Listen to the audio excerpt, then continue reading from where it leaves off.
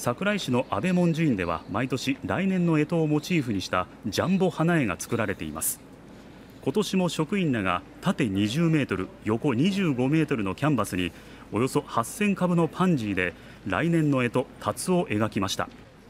今年のデザインは竜に文殊菩薩の剣を持たせたもので魔を立つという願いが込められています。竜の足のこの爪の部分がすごく綺麗になってるんで見事です。こう竜が登っていくみたいに私たちもぐんぐん上昇でいきたいと思います。